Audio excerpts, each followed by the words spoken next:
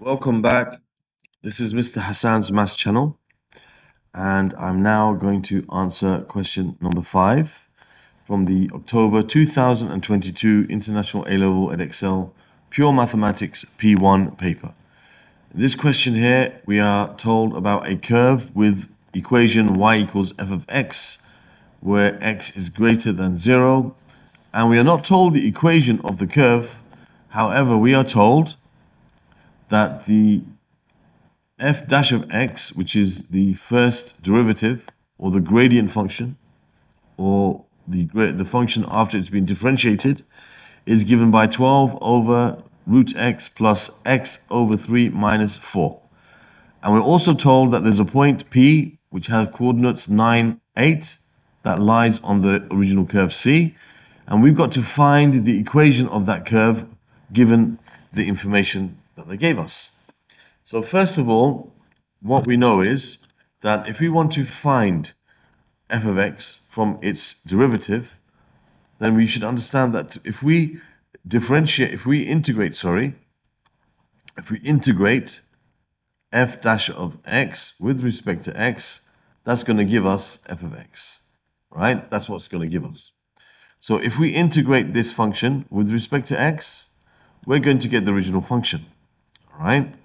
Now, so before we start doing that, what we're going to do is I'm going to write f, of, f dash of x in a way which is compatible for us or easy for us to um, integrate, right? So I want to write things in index form, not in surd form, and with the x terms in the numerator.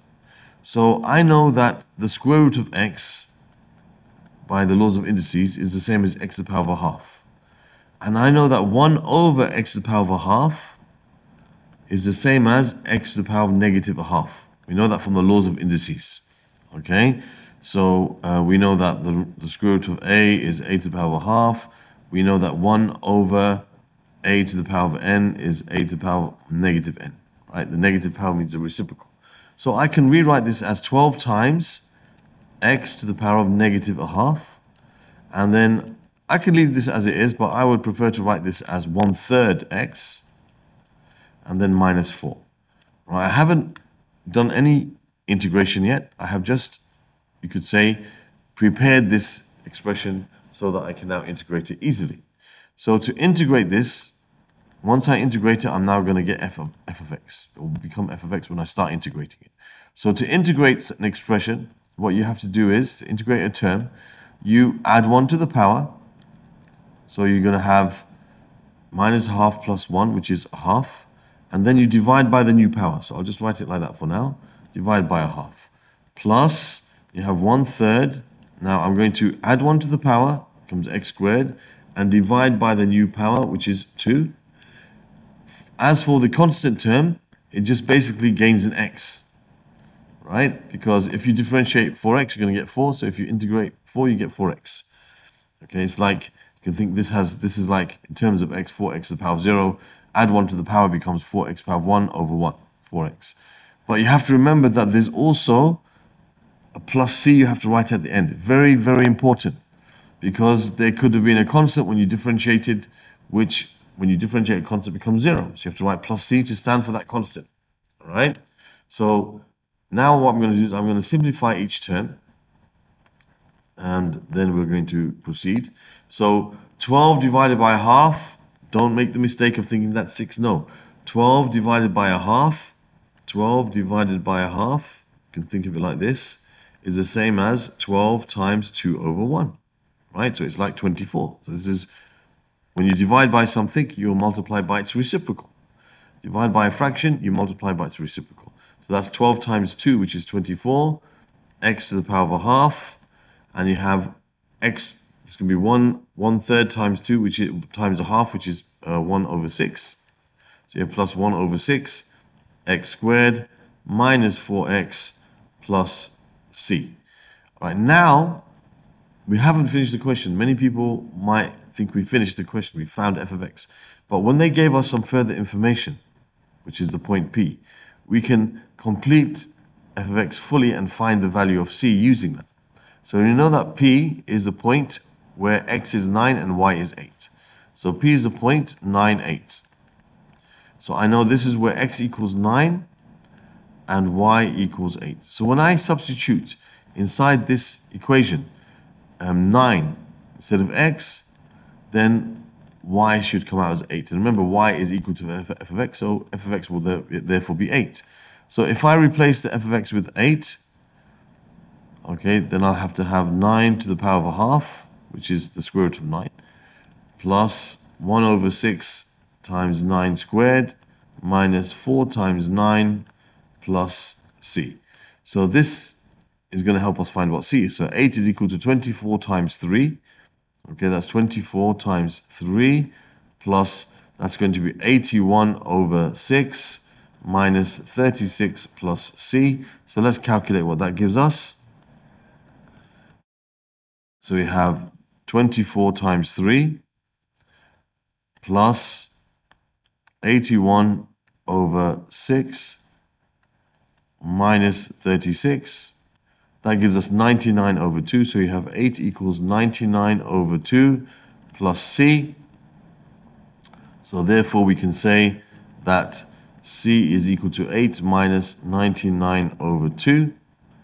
So we have 8 minus the answer, 8, take away the answer, which gives us minus 83 over 2. So c is equal to negative 83 over 2. So we can replace that c now in our equation. So we can say, therefore, the f of x is going to be equal to 24 x to the power of a half. We could, we could write that as square root of x if you want, plus 1 over 6 x squared, could be written as x squared over 6 if you want, minus 4x, and then we got c as negative 83 over 2. And there we have the answer to part A of this question. f of x equals this, okay, 24x power half plus 6x squared minus 4x minus 83 over 2. Okay, so um, I'm going to take that actually because I need it for the next part of the question. All right, so let's just take it to part B. Now, for part B, we are told, okay, we have our function. So part B says the line, in fact, I don't think I actually need it, to be honest. We don't need it. Anyway, no problem. I've got it in case we need it. Okay, so I'll just put it up there. In case we need to use this, all right, we will use it. All right, now, it says the line L is normal to the curve C at P. Find the coordinates of the point at which L crosses the y-axis. So in fact, we don't actually need the original equation because we got the gradient function. So basically, uh, what does a normal to C at P mean? Okay, well, just say you have a curve. I don't know what it looks like. I'm just drawing a random curve. Okay, but let's let's just say this is the point P. Let's just say this is the point P. Okay, now the tangent to P would be a straight line which shares the same gradient as on the curve as point P. So the, the, the same gradient as the curve at point P would be um, a line which passes through that point P will have the same gradient as the curve at that point P. Right, so it'll be like a tangent. It'll just brush the curve at that point. So the, grade, the, the, the gradient of this tangent is the same as the gradient of the curve at that point. That's the tangent.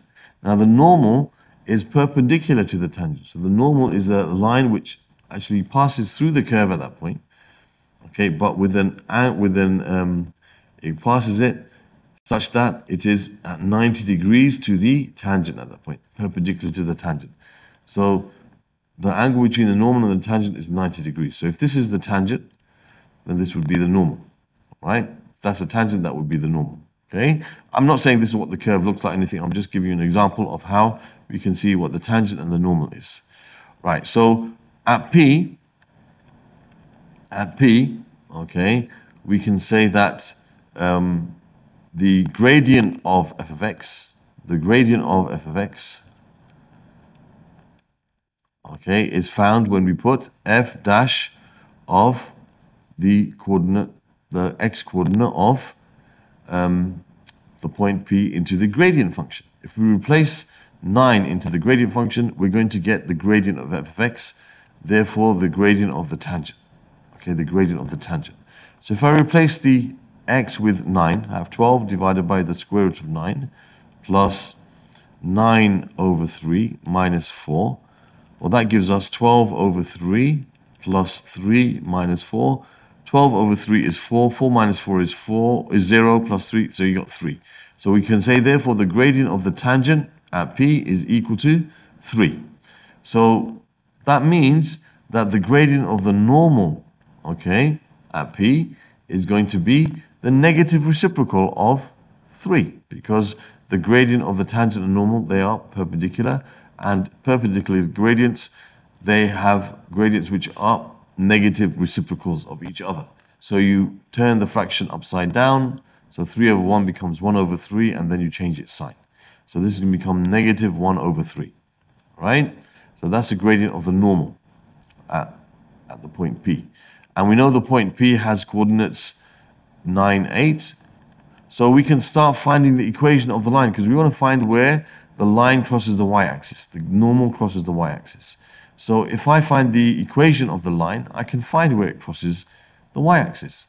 So what I'm going to do now is I'm going to say, okay, y minus y1 equals m times x minus x1. I like to use this formula myself, right? So you have y minus y1, which is the y coordinate of the point P, equals m, which is minus 1 over 3, times x minus x1, which is the x coordinate of the point P.